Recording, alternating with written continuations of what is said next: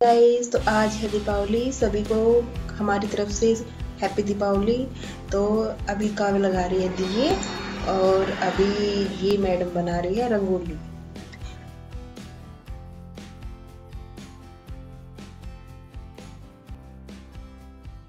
और यहाँ पे गाय काव्य ने कुछ गाने और अभी ये मैडम दिखा रही है अपने कुछ डांस स्टेप ये देखिए, मैडम दिवाली को फुल एंजॉय करते हुए।